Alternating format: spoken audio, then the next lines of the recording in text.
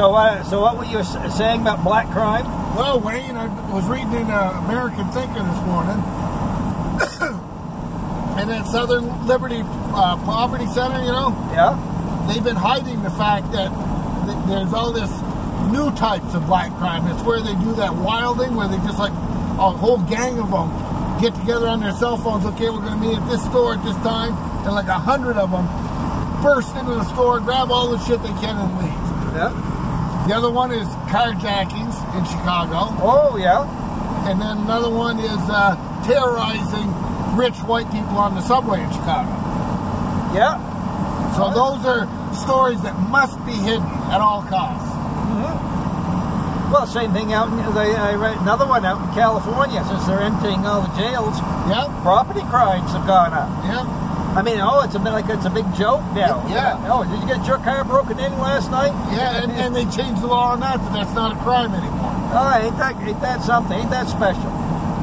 Yeah, Of course, all the, uh, the of course all the people, you know, the white, all the rich lives out there, the one Silicon Valley, they live, you know, they all live in probably gated communities and have security. yeah, yeah.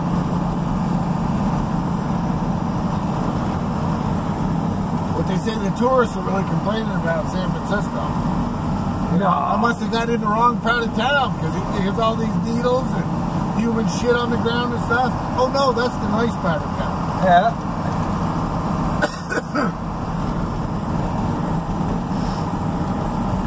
no.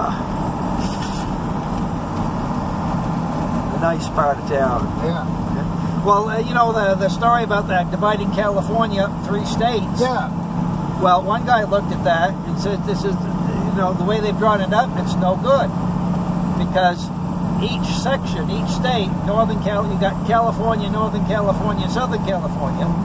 Each state would have a uh, have a big cap, a big shithole capital. That's basically going to control everything.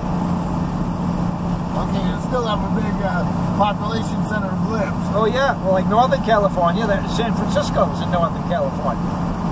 Yeah, but that was in California, wasn't it? well, yeah, well, yeah, the, just divi- the, it's on the ballot.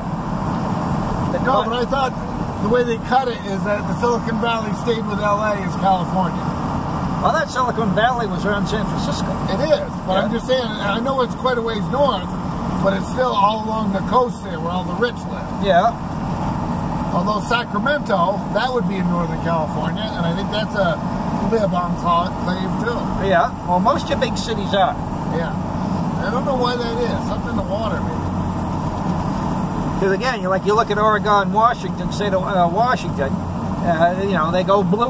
You know, in the elections, they go blue, and then you look at the the, the election map, and ninety percent of the state's red. Yeah, yeah, But you know, the con- the population concentration is just in the cities. yeah.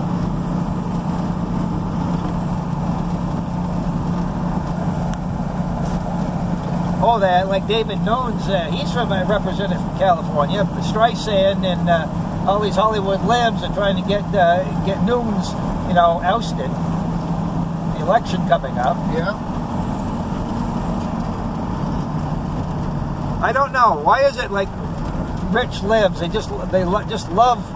lo- They they don't mind law breaking when their sides do it. Yeah. It's just, I don't know. But you know, none of this happened overnight, of course. This all this has all been building for like 40, 40 50 years. Yeah. Yeah, my wife's reading that book, Going Up to the Country. Yeah? Have you heard of that? No. It's a book about the libs coming to uh, uh, Vermont. And I've told her for years about that Playboy article you quoted, Yeah. and she said it's mentioned in there. Oh yeah. Taking over Vermont. That was back in the that was back in the early 70s. Yep. And now, but it's funny. Now here's the ironic thing. Now, all all, all, all the all the hippies came up and took over Vermont, but now they can't get more. They can't get more people up here now. They're, Yeah. they're paying people ten thousand dollars a you know Yeah. a subsidy to come here. Yeah. You know, Chelsea had his last graduation, Yeah. high school graduation. I heard that. You know how many people? How many? Seven. Seven. Seven. I mean, How could you have a school for seven people?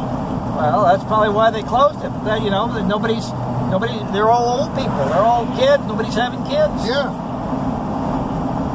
I mean, uh, you know. I mean, the only you know, it's funny. You know, the, the, the two infamous students they have there would be the Chelsea boys. Yeah. Yeah. yeah. One of them's out of prison. Lives up on West Hill by me.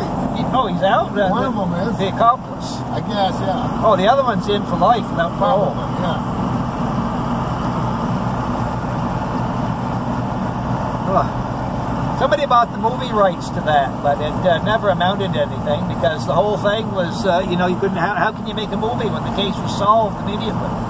Yeah. Yeah. Yeah. okay.